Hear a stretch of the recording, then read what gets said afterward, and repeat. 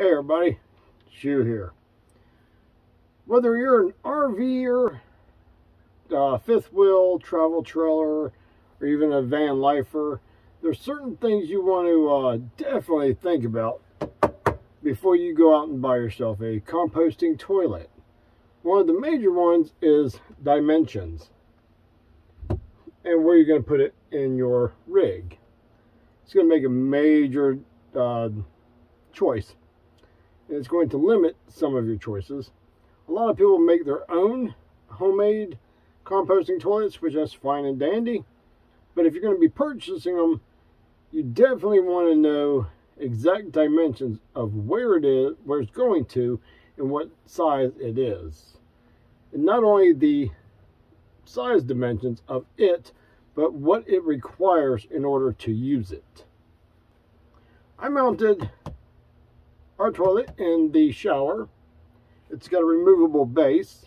The shower is 31 by 28. So a nature's head would fit in here also, but there's problems with the nature's head versus the airhead, which is the one that I'm sitting on now. The major difference is the width from the front to the back. All right, now from the front of the unit, from here to the back of the unit, is going to be 15 and a half inches deep. From the, from the height of this, from the base to the top of the lid with it closed, is going to be 19 and a half inches high. And with the L-type handle on it, the width is going to, the overall width is going to be 16 and a quarter inches wide.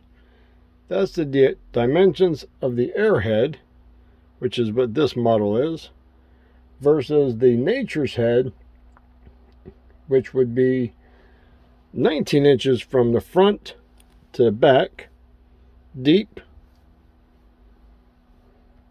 I'll put a little asterisk on that one because there's a certain reason why. This is 17 inches wide, which isn't very much wider. It's only three quarters of an inch wider. And it's 21 inches high. So overall dimensions isn't too much different. The biggest is the depth. From the front to the back. So from here to there, and you can see I've got this one about, about an inch from the wall. So when you open the lid, it goes up and it stays up straight. And there's a little bit of a tilt back on it. Really nice and comfortable. Now I say an asterisk because on Nature's Head, you can do the exact same thing. You can open up the toilet seat, the toilet lid. It works exactly the same. But it's when you get ready to empty. That's where the difference is. And I'll show you outside the van of how to prep this and set it up and get it ready. And I'll also show you the major difference between the nature's head as far as emptying it in a small confined area. And that vent there I'll show you a little trick I did on my van build. So stay tuned this is the airhead toilet. I like this. It's got seals. It seals it here and seals it here. Seals between the head of the tank and the base of the tank. So that way there it's all airtight. It can separate. Comes off. I usually turn it upside down so that I'm not sitting the seal on top of anything. It's got a seal that, that seals off the liquid tank. Inside of the solids tank, it's got a little hand crank that turns your compost and aerates it. On the airhead, your liquid tank is separate, totally separate. On the Nature's Head tank, it, there's actually a piece that this slides into, which I don't like that because when you pull this out, now you have a big empty empty space here, which makes no sense. Now, while it's mounted in the van, I have a removable plate. There's little thumb screws right here that, are, that have brackets. So this just drops right in, clips right into place, tighten your thumb screws, done. On this unit, it has, let me go and reassemble this real quick. It has little vents, little screen here. They send you the screen. This is more or less to keep like little bugs, stuff like that from, from going in. Now what I've done is I've gotten a piece of tubing that fits in the discharge hose on the opposite side, on the discharge hole. I put a, another piece of screen on it with the sealing O-ring. That way there I can change this piece out whenever I want to. And I just push that in there and it seals that side up from bugs getting inside also. Now as you've seen in the video, you can lift the lid up and it hits the wall about that much of an angle. And then this follows, no problem. When you're ready to dump this, you have the four thumb screws down here. You loosen them up. you remove the the liquid side of it. This will come off and you're once this comes off you can either a get a trash bag put it over the top of this use the hand built-in handles turn it over dump everything out rinse it out reset and you're and you're ready to go. Or nice thing I like they give you a heavy duty lid that also has a seal on it and it has the built-in thumb screws. You just line it up. I need to undo these screws all the way, but you line this up, you push it down on there, tighten your thumb screws, and then you can carry the whole thing like a gigantic cooker bucket, bucket but I wouldn't, I've never used this yet. I don't plan on ever using it. It's easier just get a trash bag, dump everything into a trash bag, you're good to go. Now on a nature's head, a lot different story. In theory, it basically works exactly the same, but this is where limitations come in and knowing what size you have to work with. Because with the airhead, you give it a quarter of a turn then you can lift it straight up and off.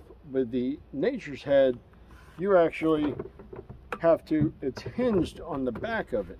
You actually have to tilt the whole unit back, which is an additional four to five inches.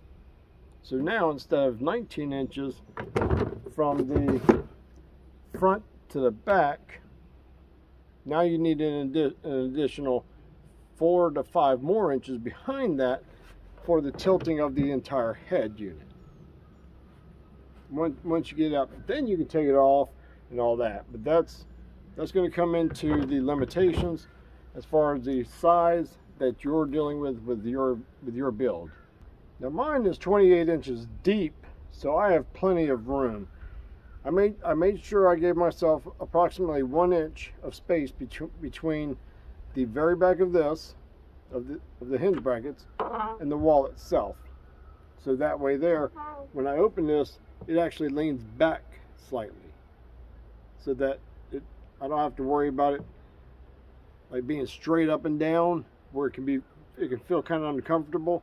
It actually tilts back a little bit so that you feel more comfortable when you're sitting on the throne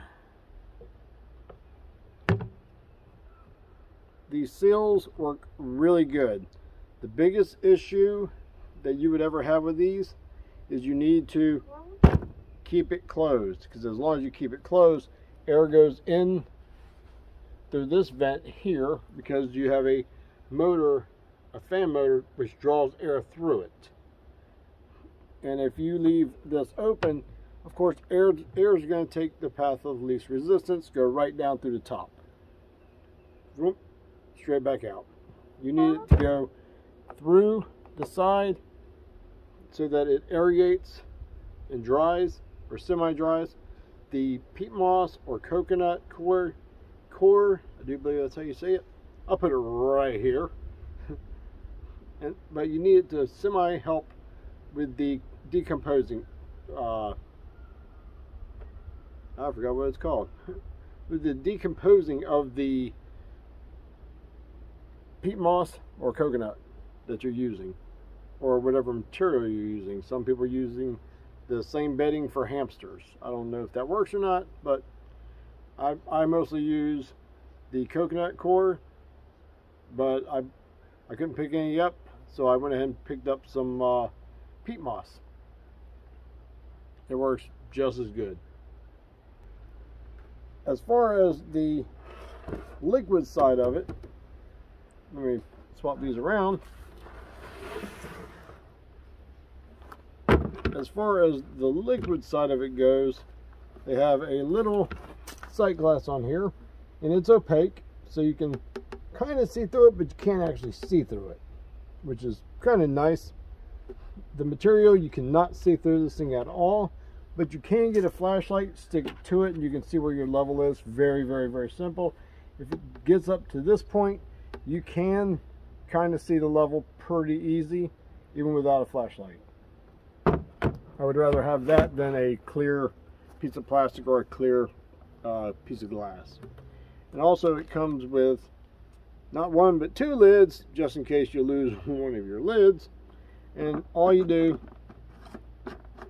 just screw it on top of this nifty little handle. I've seen some people, some people have talked about these straps being a fabric material. Some people don't like that idea. If you don't like the fabric part, there are two Phillips head screws on top. You can just pull those out, get yourself a piece of rubber if you feel more comfortable with rubber. Just replace the handle with rubber. But lift it up.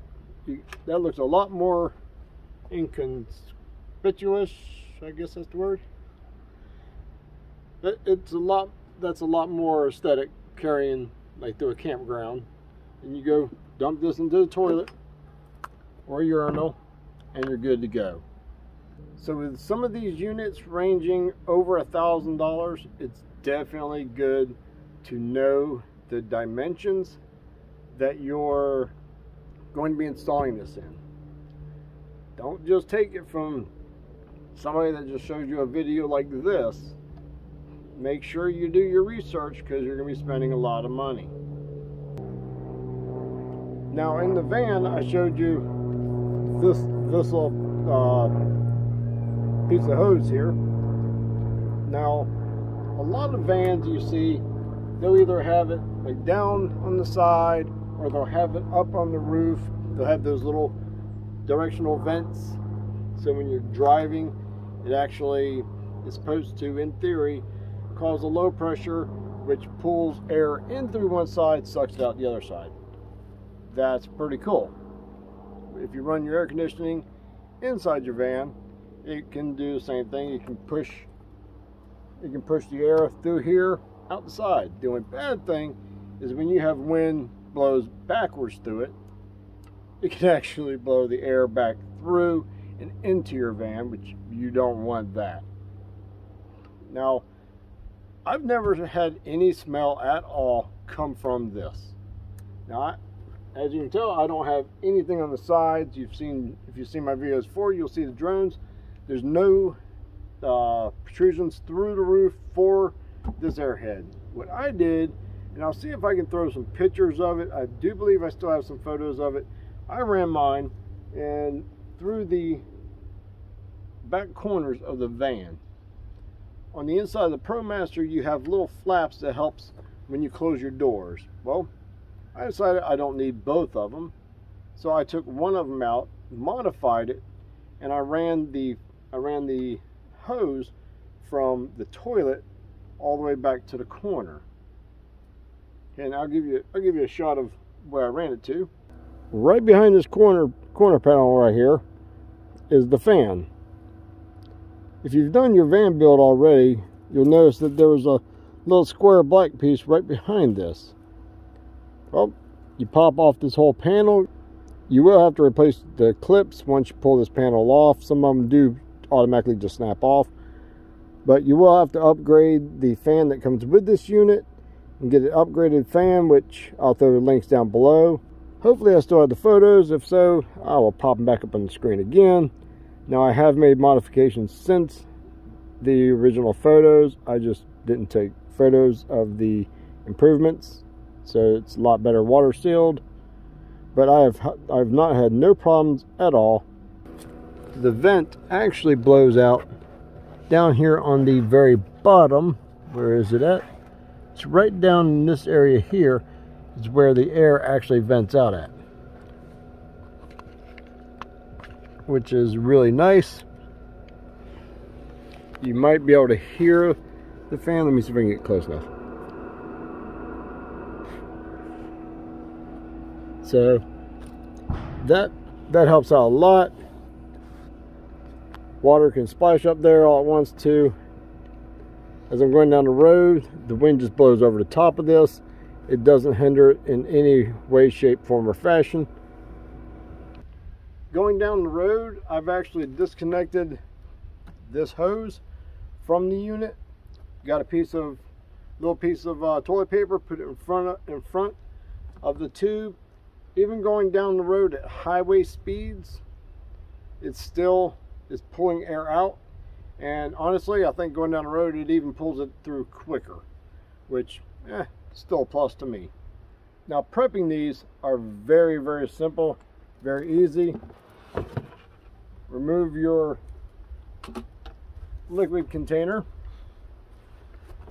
Take off the head unit. And you're left with this. What you're going to want to do, turn your handle so it's in the down position. You'll see the center bar. You're going to want your peat moss just below that center bar. So let's start filling this thing up.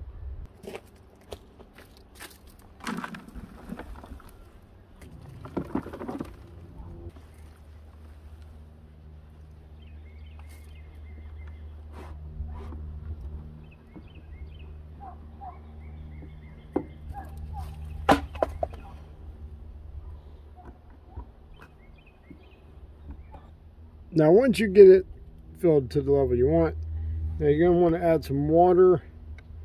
Some people will actually pre-mix their peat moss with water. I, I, I usually mix everything while it's in here. So I'll just add water to it. It looks like a lot, but the peat moss will absorb a lot of it. You can use the handle to get it crunk up and, and mixed some.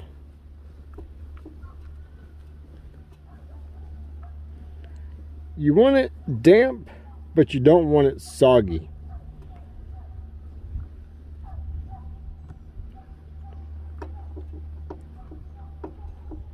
There's also an enzyme pack that comes with the airhead when you first buy it but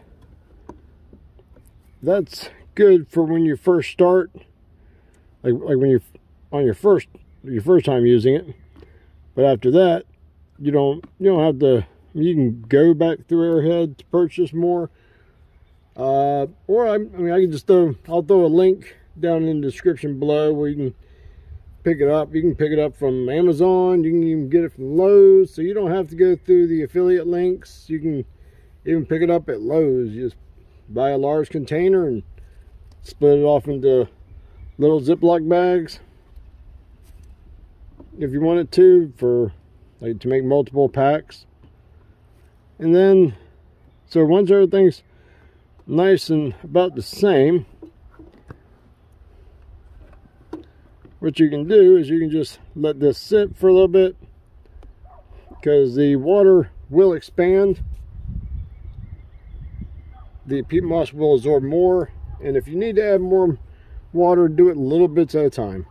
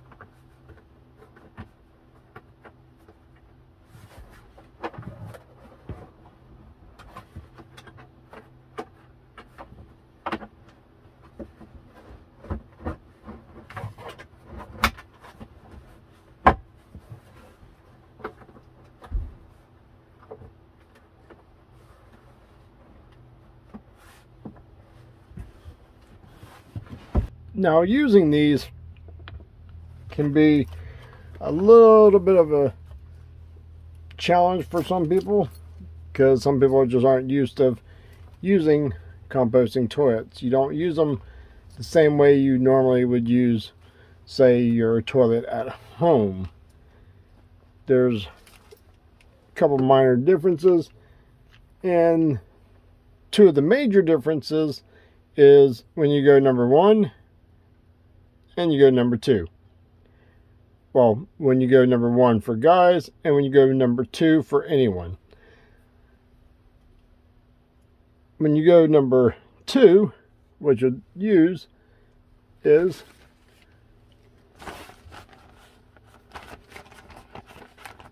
coffee filters. You want to use the natural unbleached ones because they biodegrade really nice and fast. And all you have to do with these is step one, open your lid.